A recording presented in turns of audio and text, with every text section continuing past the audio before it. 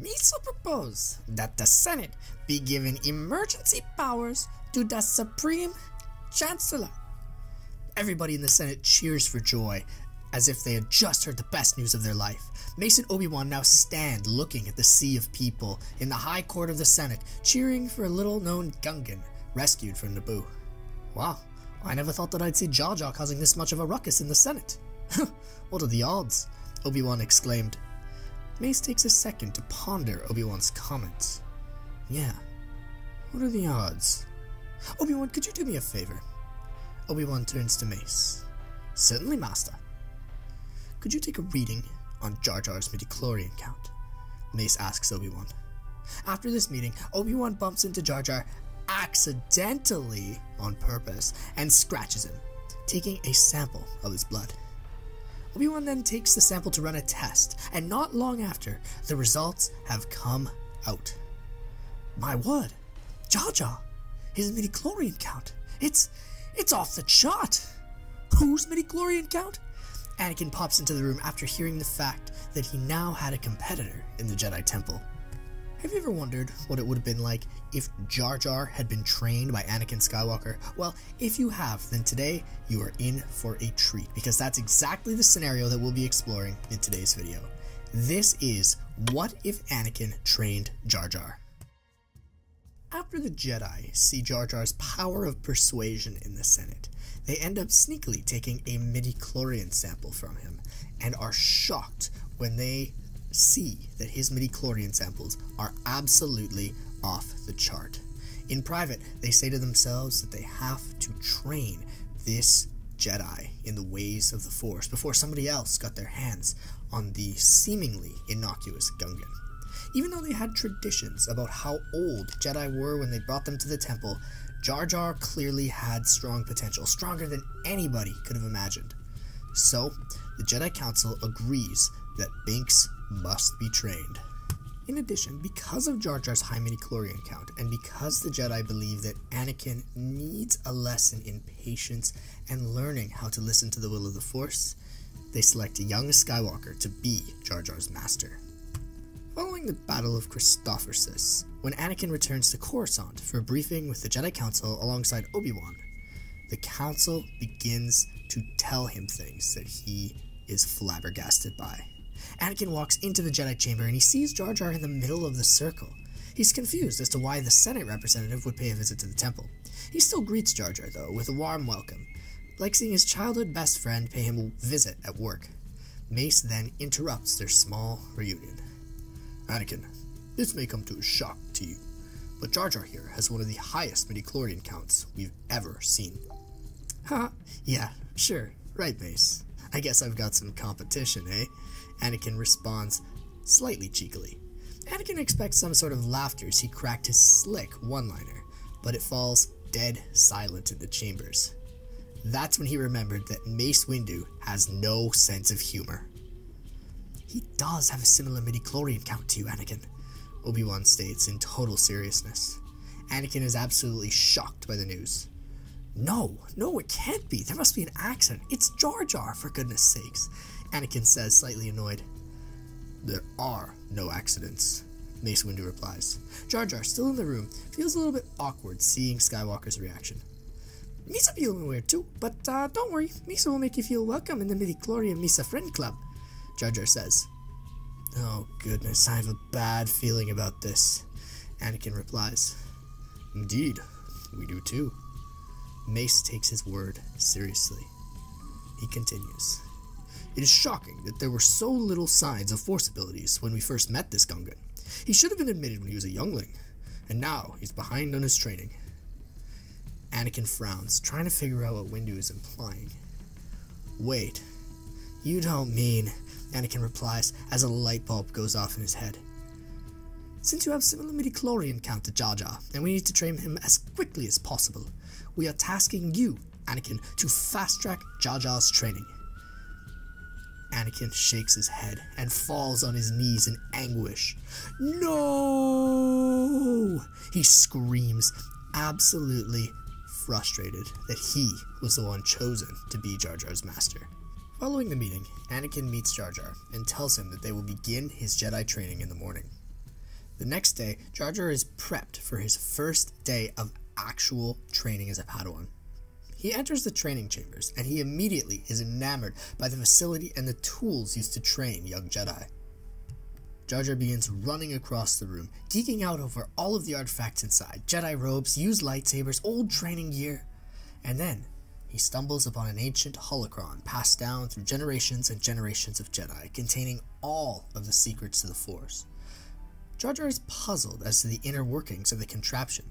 The first thing he does is try and greet the hologram, which he whispers to. Hello, Misa name is Jar Jar. Behind him, a mysterious voice begins to speak, and it seems to emanate throughout the room as he whispers to this hologram. Did you enjoy the tour? Jar Jar is surprised, but he continues, excited that he's received a response. Misa do. It's Misa first day of being a Jedi. Misa's a bit nervous, but Misa gonna do Misa best. Then I guess we'll have to see, the voice replied. Misa gonna show you the moves Misa learned today afterwards, Jar Jar says to the holocron. No need to do so, Jar Jar. I just request that you turn around. Jar Jar turns around and reveals that the mysterious voice is actually Anakin Skywalker who'd been standing there all along with a smile on his face. Okay, then I guess we'll see. Ah! Master! Jar Jar says. Jar Jar's shocked reaction causes him to tremble and drop the holocron on the floor, breaking the ancient, which is unreplaceable, into pieces. Anakin stoically takes a look at the shattered holocron. On the outside, he's unfazed, but inside, he's panicking, thinking to himself how he would explain the situation to Obi-Wan. In his head, Anakin begins an inner monologue of frustrated anxiety. Oh no, oh no, what am I gonna do? It's my first day of the Master and I'm already causing a mess, he thinks to himself. Anakin slowly turns to Jar Jar, showing him on the outside that he maintains his cool. Our training begins, Binks, and we will have one of our mechanics fix this. Do not worry. But in his head, Anakin tells a different story. Oh, good save, Anakin. You're doing great. Little did Anakin know that Jar Jar naturally, because of his force inclination, could hear the entire conversation in his head. The next day, after Jar Jar had rested for the evening following his first day of Jedi training, Anakin and Jar Jar walked back into the training quarters of the temple. After some lousy prep on Jar Jar's end, with Anakin fixing his attire for an entire 30 minutes because he screwed up putting on the Jedi robes, Anakin starts his lecture about being a Jedi. So, you want to be a Jedi, Jar Jar? Anakin begins. Misa thinks so. Wrong! Anakin interjects. You need to be a Jedi. With your talent, you owe the galaxy a duty to protect the ones that need us most. You are currently in no position to do so.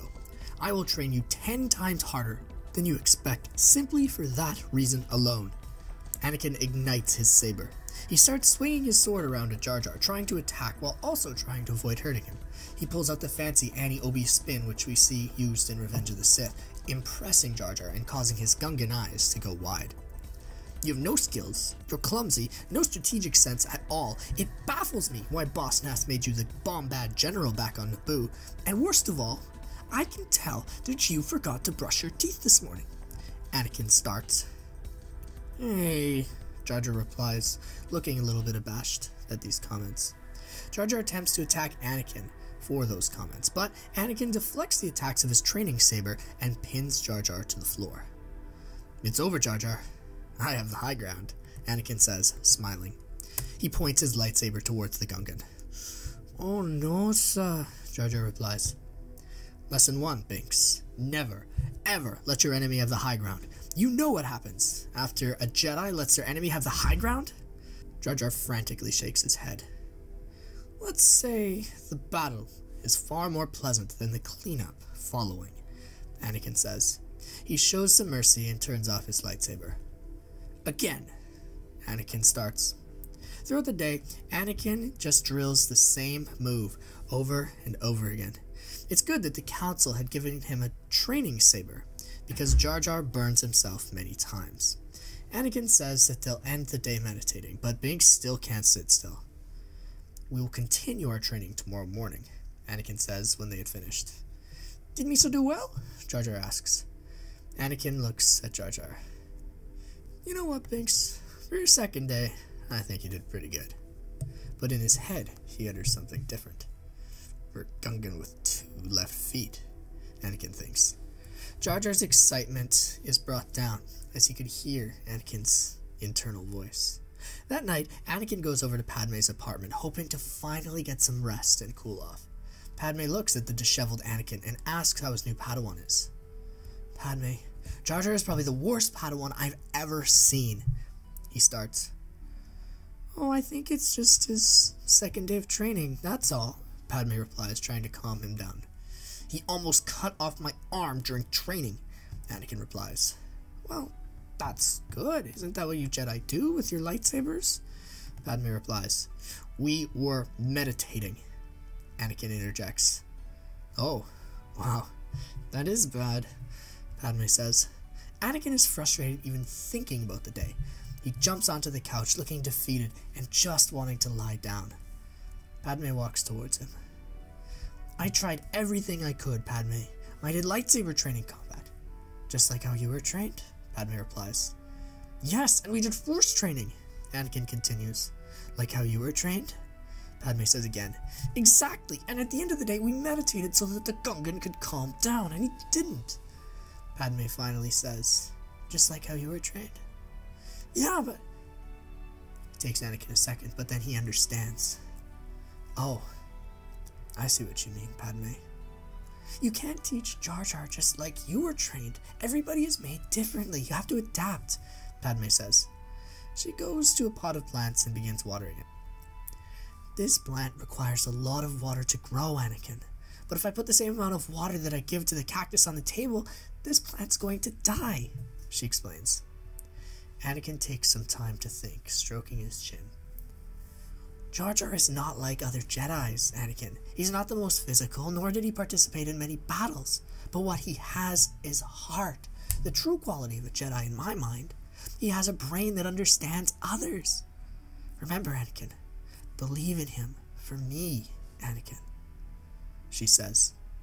Anakin takes that to heart, and the next morning, he carries Padme's words into the training session.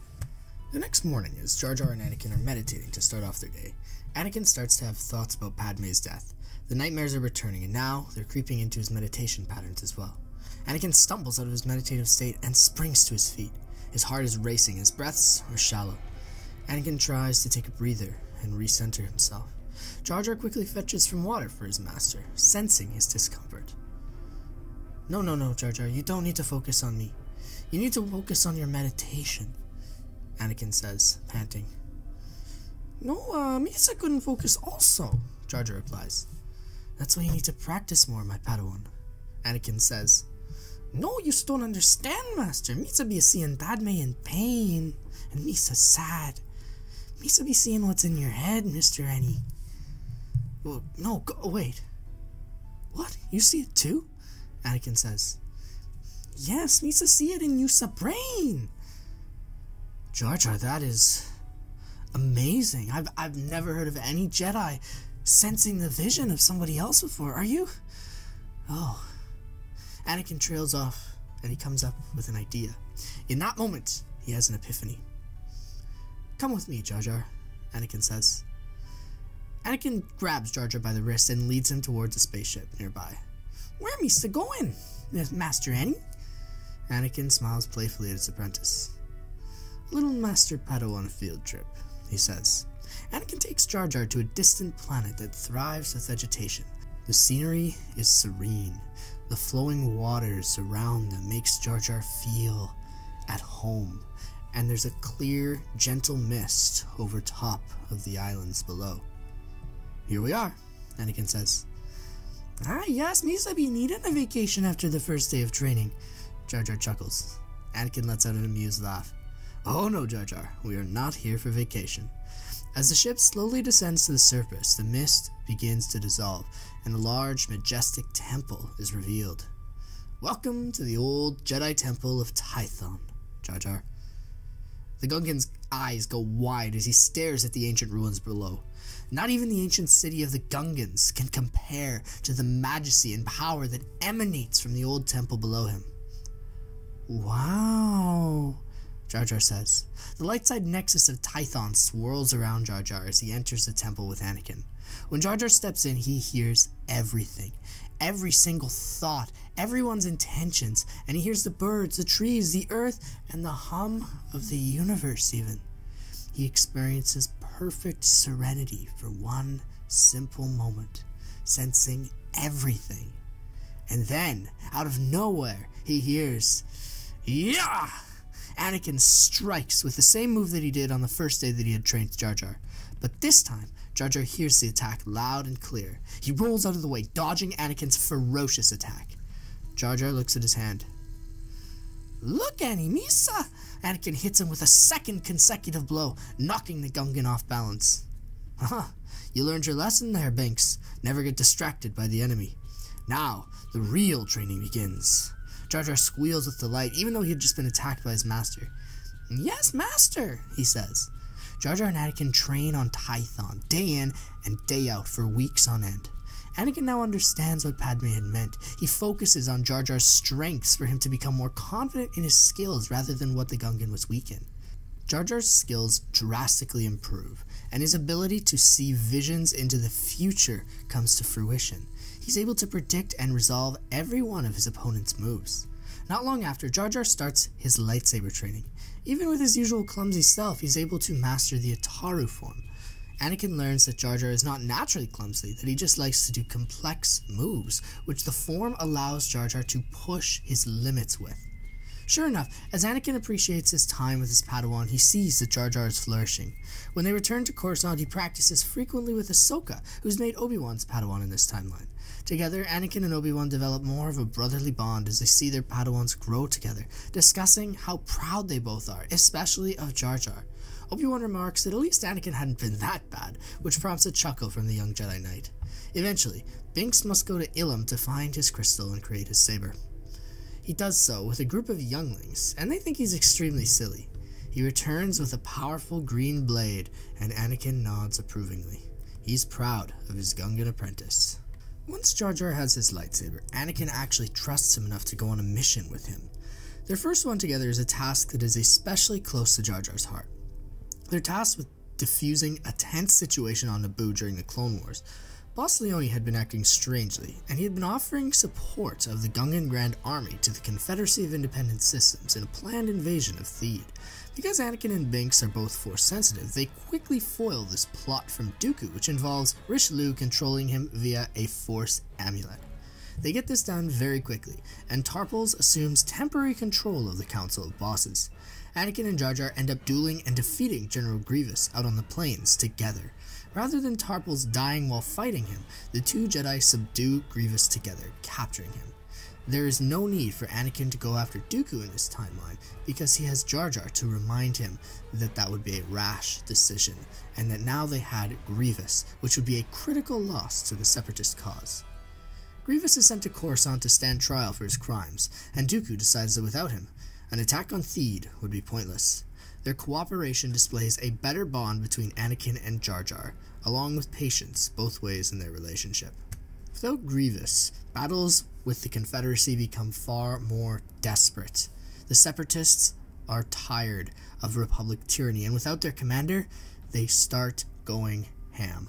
The Office of the Chancellor specially requests Anakin and Jar Jar to serve as Jedi escorts for Palpatine amidst reports that an attempt on his life may take place from clone commandos who had been operating deep undercover in the heart of Separatist space.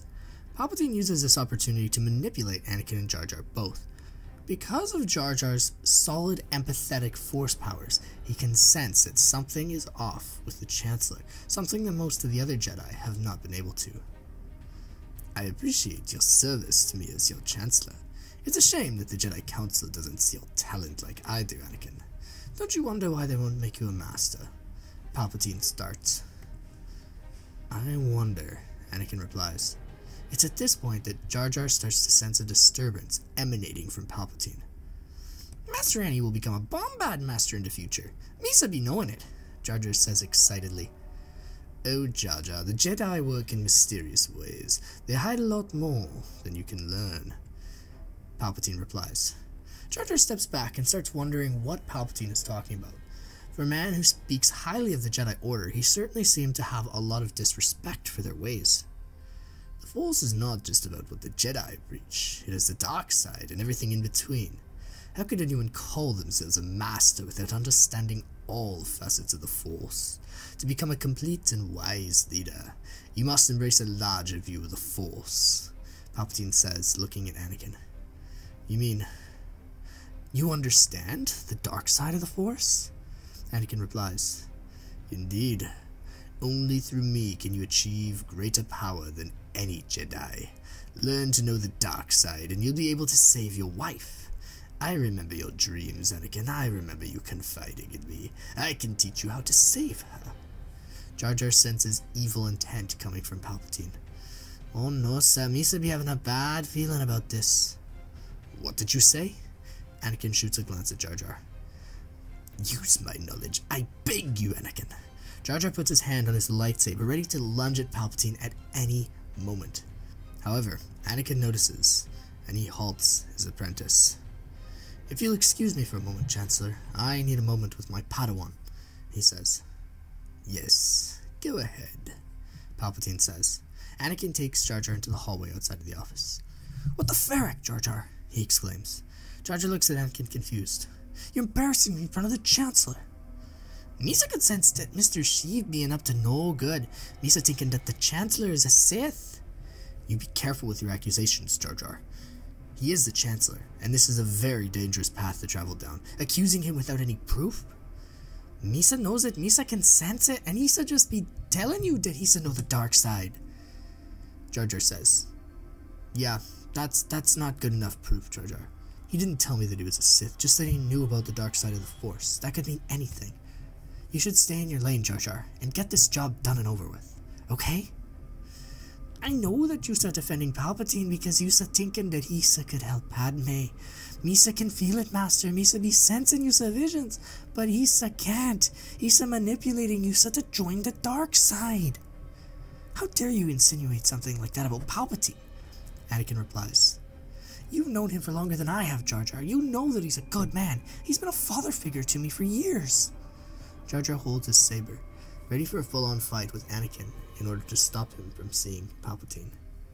We'll settle this later, Jar Jar. This is not where we should handle this. I know that I'm often quick to use the sword, but not with you, Jar Jar.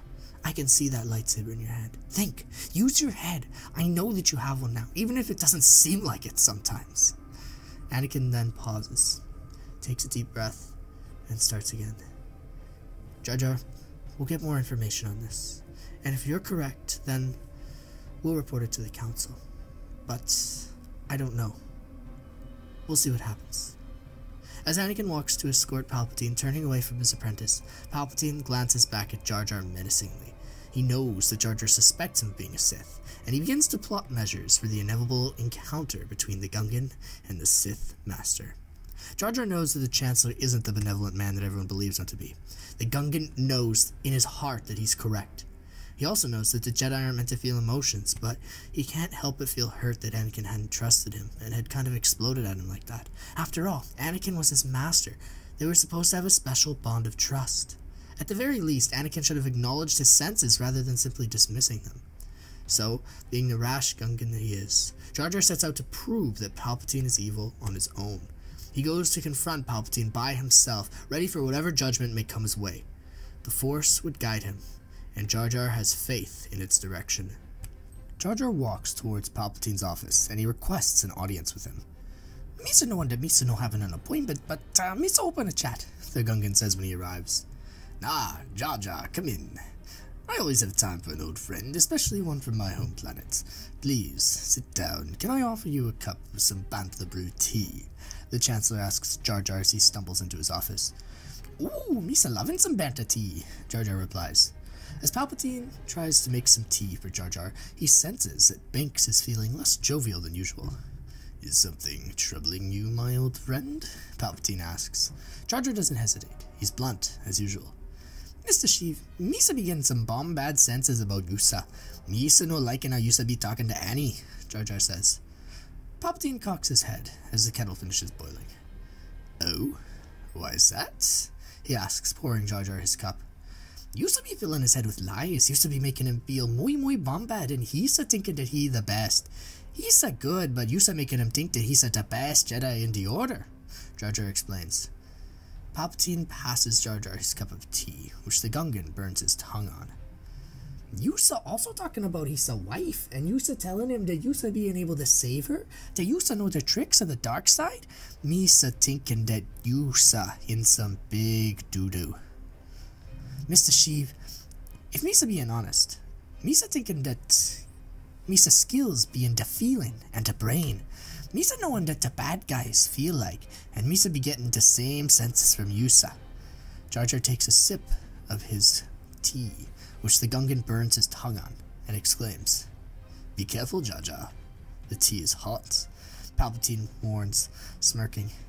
He then narrows his eyes, sipping his own cup of bantha brew tea. Are you accusing me of something, Jar? He inquires. Jar ignites his lightsaber. Misa be thinking that you such a big Sith Lord that the Jedi have been looking for. Misa feeling it. Misa seeing into Yusa's soul. Palpatine smiles evilly at the Gungan. He believes that Jar Jar will be a quick kill. He could easily hide the body and claim that it was an accident if he slaughtered him in cold blood. Binks was a klutz, surely nobody would believe that the Chancellor had murdered him. Perhaps Skywalker would be easier to manipulate with Binks gone as well. He gently places his cup of tea on the desk. So, Jar Jar, it's treason then, Palpatine states. Jar Jar remains firm in his position fearless. Palpatine admires his courage for a moment before delighting in the prospect of killing this annoying Gungan. You saying big doo-doo this time, Mr. Sheev, Jar Jar says. During this battle, Anakin can sense that his apprentice is in trouble. He immediately feels his gut drop, and he knows exactly where Jar Jar had gone. Anakin, believing that Jar Jar had done something rash and gone to speak with the Chancellor, sprints to the nearest speeder and speeds off to the Senate building. He uses force speed to get to the Chancellor's office when he arrives. When he opens the door, he sees that Jar Jar and Sidious are engaged in an incredible duel. Jar Jar is slipping over chairs and tables to avoid the blows of Sidious, and he's also landing some of his own strikes. Anakin's heart begins to thump as he seals the whirlwind of red and green, wondering what to do next. Jar Jar! Anakin cries. In that moment, Anakin realizes that Jar Jar had been right the entire time, and he joins in to protect him. Palpatine's red blade told Anakin the entire story. Anakin attempts to land strike after strike on Palpatine, but to no avail. Anakin, I can save your wife. I can help you become more powerful than the other Jedi, just like you deserve. They're holding you back. Can't you see it? I only want to help you, Anakin. Your apprentice is jealous. Palpatine gasps while the two Jedi try to overwhelm him with force. Your tricks won't work on me this time, Chancellor. I trust my apprentice. He's seen into the depths of my soul with his abilities. Surely he can see yours as well. Never underestimate a Gungan. Anakin retorts, thrusting his saber towards Palpatine with a jab. The battle continues for a very long time. Eventually, Palpatine grows tired of their games. He attempts to shock them with a swarm of Force lightning, but the pair manage to block it with their sabers. They force it back towards the Dark Lord, causing Sidious to shrivel up, much like in Revenge of the Sith. However, he is far too engrossed in his hatred to sense his mortal pain. The unlimited power coursing through his veins was sucking him dry, and the Jedi are able to sustain their own. Eventually, Sidious's face turns to ash with all of the power being sucked from his body, and he falls to the floor as a mere skeleton. Jar Jar and Anakin look at the Chancellor's deceased body, huffing from their effort. We have to contact the Council immediately, Anakin says somberly. Mace Windu arrives at the scene, and he's informed what has transpired. He tells the pair that they have done well and that they deserve some rest at the temple. Mace momentarily seizes control of the Senate before giving it back to Mas Amedda, informing him of what had transpired. Amedda is given emergency powers to bring the war to an end, which is much easier now that Dooku doesn't have Palpatine helping him, due to the fact that Grievous is also captured.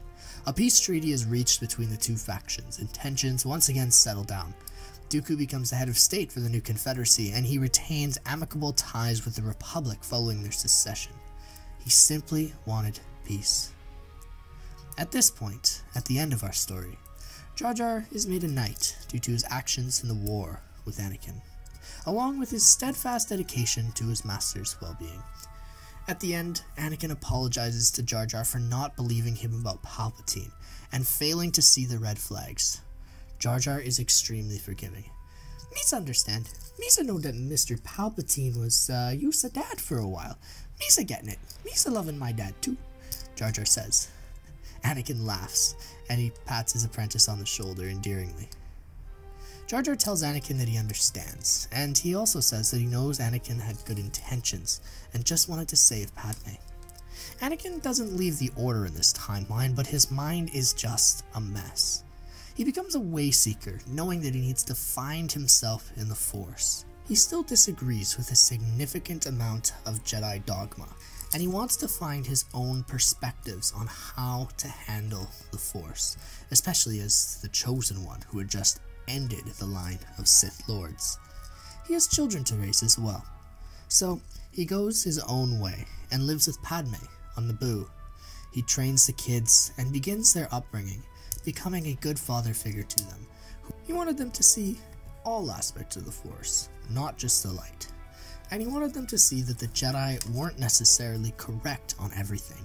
He wanted them to grow up with good hearts, and he wanted his kids to fight for the galaxy. Padme is on 100% the same page, and she believes that the kids will change the future of the Republic years to come. The galaxy settles down and peace occurs. The Jedi Order is preserved, and the clones remain an integral part of the defense strategy when Amida is re-elected to be Chancellor for another term. The Republic is at peace. The Separatists have their own little government going, and the clones still have a purpose. Anakin is a father, learning to find his way in the Force in a break from the Order, and Jar Jar becomes a very respected hero of the Jedi. His name sounds throughout the galaxy, not as somebody who had brought about the end of the Republic, but as a man who had restored democracy to the galaxy. Jar Jar Binks is a hero of the Republic. Hey there, folks. Now's the time where we transition into the Ask Me Anything period of our videos. So today's question comes from White Death Studios in the Discord server, and he asked what your favorite alien species is from Star Wars. Well, if it's not obvious from some of my previous videos and from this one today, I am a huge Gungan fan. I've always thought that they were ridiculous, and I know that there are more people who are just scared to admit that they secretly love the Gungans. I love Boss Nass, I love Jar Jar, I love Captain Tarpals, I love Boss Lyonie. Their entire culture is just so goofy and ridiculous to me. And as a kid, I always thought that Jar Jar was hilarious. Like, that's who he's intended for. He's intended to make children laugh. And that just made me love his entire species. I also just am such a huge fan of Boss Nass going all the time, and I could do it louder, but I'm not going to because the walls in my dorm room are paper thin, and I have a feeling that somebody around here would look at me questioningly if I walked into the hallway after making the Boss Nass sounds. So, I love the Gungans, I love Jar Jar, and Boss Nass is my favorite one of the Gungans.